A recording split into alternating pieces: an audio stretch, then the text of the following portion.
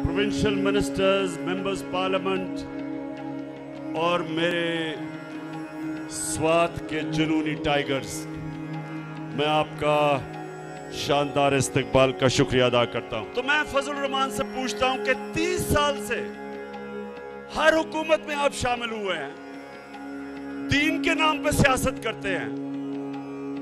मैं आपसे पूछता हूँ कि कभी आपने किसी मगरबी रहनुमा के मुँह से एक लफ्ज भी निकाला इस्लामोफोबिया के खिलाफ। बल्कि किसी से बात भी की। जब हमारे मदरसों के बच्चों को आप निकालते हैं इमरान खान के खिलाफ तो उनको क्या कहते हैं? कि ये यहूदी लॉबी है।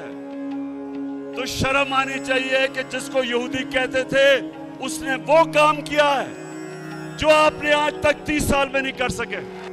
इन पिछले पैंतीस साल में जो तीन तीन दफ़ा वज़ीर आज़म बने, मैं इनसे पूछता हूँ कि कभी आपने यूनाइटेड नेशंस में इसके खिलाफ बात की?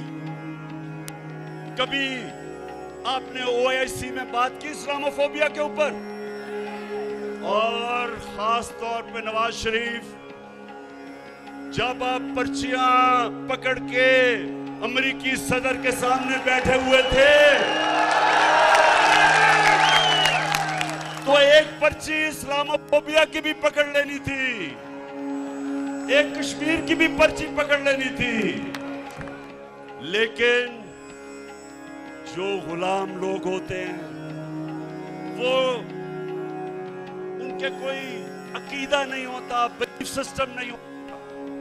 उनका सिर्फ़ इस तरह के लोगों का जिनका पैसा खुदा होता है, जो पैसे की पूजा करते हैं 2008 से लेके 2018 तक ये दो जमातों, पीपल्स पार्टी और नून लीग जब इकतदार में थे 400 ड्रोन हमले हुए पाकिस्तान पे। 400 हमारी औरतें बच्चे मरे, बेकसूर लोग मरे हमारे लोगों के घर बर्बाद हो गए।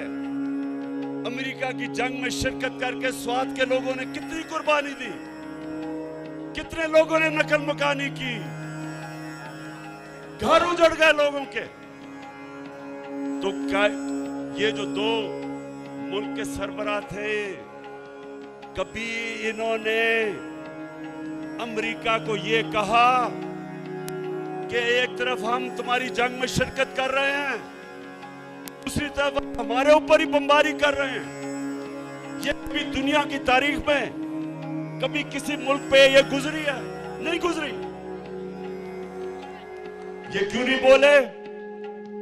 स्वाद के नौजवानों, आप बाशूर लोग हैं। सुने क्यों नहीं बोले? अगर इमरान खान के भी अरबों रुपए मुल्क से बाहर ऑफशोर अकाउंट्स में पड़े होते। मैंने यहाँ से चोरी करके मैं भी बड़े बड़े महलात लंदन के अंदर मेरे होते, बच्चे मेरे महलों में रह रहे होते बड़ी बड़ी गाड़ियाँ मैं चला रहा होता, चोरी के पैसे से तो मैं भी उनके सदर के सामने पर्चियाँ लेके बैठा होता। क्योंकि जब स्वाद के नौजवानों जब वो चाहें आज जिस तरह रूसियों के साथ जितने भी रूसियों के बड़े बड़े उनके बिजनेसमैन के बाहर पैसे पड़े हैं मगरब के अकाउंट्स में बैंकों में उनके जायदाद सब जब्त हो रही हैं। तो इनको भी पता है कि जिधर इनके पैसे पड़े हैं ज, ज, इनके महलात हैं जब चाहे वो इनको जब्त कर सकते हैं। इनके पैसे ने इनको गुलाम बनाया है। इनके चोरी के पैसे ने इनको झुका दिया उनके सामने। और इन्होंने इस कौम को, जो एक अजीम कौम है, इन्होंने हमें भी अपनी हरकतों से हमें दुनिया में जलील किया है। ये सुन लें कि एक कौम सौ कीदड़ों की कौम जिसका सरदार शेर हो वो जीत जाएगी। सौ शेरों की सर, कौम जिसका सरदार नवाज़ शरीफ की तरह गीदड़ हो। हमारी एक अजीम कौम है। ऊपर करप्ट जब लोग बैठे एक तो पैसा चोरी करके बाहर ले गए कौम को मकरूज कर दिया।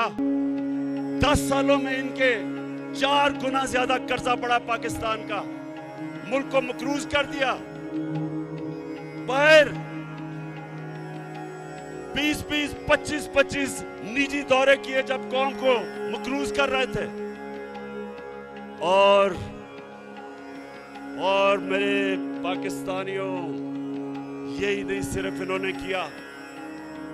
इन्होंने मुल्क के मफादात को अपनी जात के लिए कुर्बान किया। तो मैं आज स्वाद के लोगों, आपके सामने ये कहना आया हूँ कि आप सब इस मुल्क की बका के लिए, अपने बच्चों के मुस्तकबिल के लिए, नौजवानों अपने मुस्तकबिल के लिए, ये समझ जाए कि ये जो करप्ट टोला,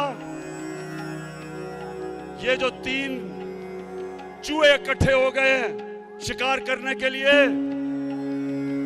मैं आज आप सबके सामने कह रहा हूँ कि इंशाल्लाह मैं आप इनका शिकार करके दिखाऊँगा। क्योंकि ये कर क्या रहे हैं? इस्लामाबाद में सिंध हाउस है। सिंध हाउस में नोटों की बोरियाँ लेके बैठे हुए हैं। लोगों के ज़मीन खरीदने के लिए। हॉर्स ट्रेडिंग करने के लिए जो ये नवाज़ शरीफ ने एक दफ़ा छांगा मांगा में शुरू की थी रवायत के एमपीज मेंबर ऑफ़ पार्लियामेंट के जमीर खरीदने के लिए, ये आज सिंध की आवाम का पैसा बोरियों में आया है सिंध हाउस। उधर से सिंध से गार्ड लेके आए हैं उसको बचाने के लिए कि कोई अंदर ना आ जाए। और क्या कोशिश हो रही है? सारी दुनिया के सामने बेशर्मी से कि हमारे एमएनए को खरीदने आए हैं। और खरीदने इसलिए आए हैं कि इनको सब डर लगा हुआ है कि इनके करप्शन के केसेस तैयार हैं। और अगर इमरान खान थोड़ी देर और रह गया तो इन सबने जेलों में जाना है।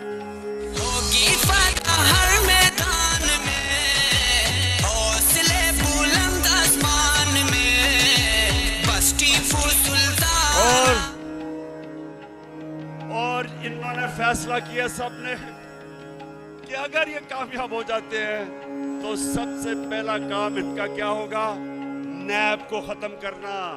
अपने करप्शन के केस खत्म करना। शर्म भी नहीं आती। खुल के कह रहे हैं कि हमारे साथ नैब खत्म करेंगे। तो इंशाल्लाह, ये जो आने वाले दिन है, ये पाकिस्तान की तारीख के फैसला कुल दिन है। इसमें फैसला होगा कि कैसा पाकिस्तान बनेगा। इसमें सब चोर एक तरफ़ हो गए और इन सबने मुझे मौका दिया है, जिस तरह मैंने कहा कि इंशाल्लाह एक गेंद से तीन विकेटें गिरेंगी। ये वो लोग हैं। नौजवानों, ये वो लोग हैं। आज जो ये खौफजदा हैं, जिस चीज़ से खौफजदा हैं वो ये कि मुल्क तरक्की कर रहा है। आज मैं चैलेंज करता हूँ सबको कि मुआवजना कर लें कि इनके दौर में हालात क्या थे और हमारे साढ़े तीन साल में क्या। हर चीज़ में हम इनसे आगे हैं। मुश्किल हालात में पाकिस्तान बना। पहले दिवालिया निकाला हुआ था इन चोरों ने। उसके बाद कोरोना आ गया। पाकिस्तान वो मुल्क था जिसने अपनी कौम को हमने जो फैसले किए, अपनी कौम को कोरोना से भी बचाया और अपनी माइशत भी बचाई। दुनिया ये मानती है, दुनिया किस तरफ़ जा रही थी? हमने दुनिया के मुखालिफ फैसले किए। और आज दुनिया कहती है कि जो पाकिस्तान ने अपने लोगों को कोरोना से बचाने के लिए फैसले किए थे, वो सबसे बेहतरीन थे। और हमें मानती है दुनिया हमने उस दौर में एक्सपोर्ट्स पाकिस्तान की तारीख की रिकॉर्ड की। सबसे ज़्यादा टैक्स पाकिस्तान का इकट्ठा किया। उस टैक्स से दस दस रुपए हमने पेट्रोल और डीजल कम किया। पाँच रुपए यूनिट बिजली कम की। हमारी टेक्सटाइल की रिकॉर्ड एक्सपोर्ट्स इस मुल्क के अंदर कभी इतना ज़्यादा ज़रात के अंदर पैसा नहीं आया। गंदम की रिकॉर्ड मकई रिकॉर्ड चावल की रिकॉर्ड फ़सल। वो मुल्क जिसके जो ज़रात का मुल्क था, पहली दफ़ा किसानों को इस तरह का पैसा मिला। आईटी जो नौजवानों का जो मुस्तकबिल है रिकॉर्ड आईटी की एक्सपोर्ट्स की। मैं चैलेंज करता हूँ, हर चीज़ में हम इनसे आगे हम वो हैं जिन्होंने पहली दफ़ा अपने बच्चों का मुस्तकबिल सोचते हुए मौसम की तब्दीली को बचाने के लिए पहले एक अरब दरख्त पख्तूनख्वा में उगाए, अब दस अरब दरख्त सारे पाकिस्तान में उगाने जा रहे हैं अपने बच्चों का मुस्तकबिल बचाने के लिए। दस डैम्स दस डैम्स शुरू किए हैं पाकिस्तान में।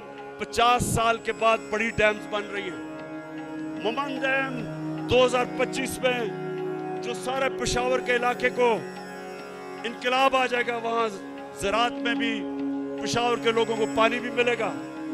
उसके बाद दासू डैम, उसके बाद बादशाह डैम 2028 तक बनेगी, जो पाकिस्तान का जो पानी है, जो रेजर्वोयर है, वो दुगना हो जाएगा।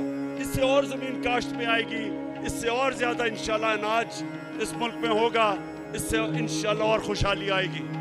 क्या आप तैयार हैं कि एक गेंद से मैं तीन विकेटें गिराऊं? और ये जो ये जो लोग हैं, नवाज़ शरीफ बाहर बैठा है। अच्छा ये जरा सुने।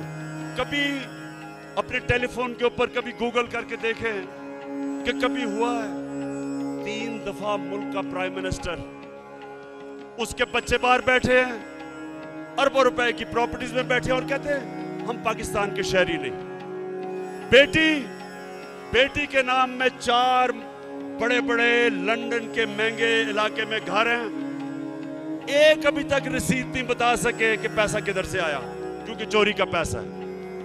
उसके, उसका जो मुंशी डार, वो भी बाहर बैठा है, उसके बेटे भी बाहर और वो पति सारे इधर इधर हमारा जो तीन के साथ जो शक्ल नज़र आती है सूट पहन के, वो सूट इसलिए पहनता है कि जब वो यूरोपियन को मिलता है या अमेरिकी एम्बेसी से लोगों को मिलता है तो बताता है कि, सर, मैं भी आप ही तरह हूँ। देखिए, मैंने सूट पहना हुआ, मैं अंग्रेज़ी बोलता हूँ।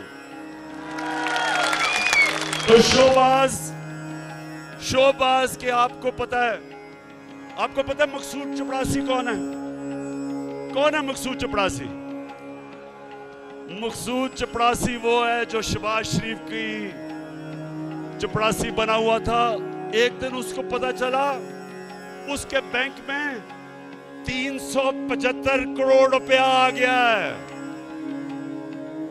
और बाकी जो नौकरों के नाम पे 1600 करोड़ रुपया आया। तो जब से अदालत में पूछ रहे हैं कि जी पैसा किधर से आया तो कभी शबाज शरीफ की कमर में दर्द हो जाती है, कभी उसका वकील भाग जाता है, डेट्स पे डेट ले रहा है, इसको भी डर लगा हुआ है। इसको डर लगा हुआ है कि अगर ये इमरान खान रह गया तो ये अगले दो तीन महीने में ये भी जेल में जाएगा। तो ये सारे मुजरिम और मुलजिम इकट्ठे होके अब कोशिश कर रहे हैं पैसे लगा के कि किसी तरह लोगों को खरीदे। तो मैं इलेक्शन कमीशन से भी वैसे आज पूछता हूँ कि ये जो आपके सामने हॉर्स ट्रेडिंग हो रही है, क्या ये आइन के अंदर इजाज़त है? क्या दुनिया की कोई जमहूरियत इसकी इजाज़त देती है? क्या कभी बरतानिया में कभी आपने सुना है जिधर से हमने जमहूरियत लेके आए हैं? कभी सुना है कि बरतानिया में इस तरह की हरकत हो? तो इससे क्या साबित होता है? और मैं आखिर में अपनी तकरीर खत्म करते हुए कुरान की वो आयत आपके सामने रखता हूँ, जिसमें अल्लाह मुसलमानों को हुक्म करता है, अमर बिन मारूफ व नहीं अनल मुनकर, कि तुम, और पूरी आयत है कि तुम सबसे अजीम कौम मैंने पैदा किया दुनिया की इमामत के लिए। क्योंकि तुम अच्छाई के साथ खड़े होते हो और बुराई के खिलाफ खड़े होते हो। अच्छाई के लिए जहाद करते हो और बुराई के खिलाफ जहाद करते हो। जो लोग ये तमाशा देखते हैं कि चोरी के पैसे से सियासतदानों को खरीदा जा रहा है। बीस बीस करोड़ आपने उनके जमीर की कीमत लगा दी है। तो कौम के ऊपर लाजम हो जाता है कि कौम इसके खिलाफ खड़ी हो। लिहाजा सताइस तारीख को जो मैंने इस्लामाबाद में इंसानों के समुंदर को दावत दी है। उसको इस कुरान की आयत के ऊपर दावत दी है, अमर बिल मारूफ। मैं चाहता हूँ मेरी कौम निकले और इस्लामाबाद में पहुँच के बताए दुनिया को कि हम सच के साथ खड़े हैं, हम अच्छाई के साथ खड़े हैं, हम इन चोरों के खिलाफ खड़े हैं, हम इन डाकुओं के खिलाफ खड़े हैं, हम इन मुनाफिकों के खिलाफ खड़े हैं, हम इन अमेरिका के गुलामों के खिलाफ खड़े हैं। पाकिस्तान पाइंदाबाद।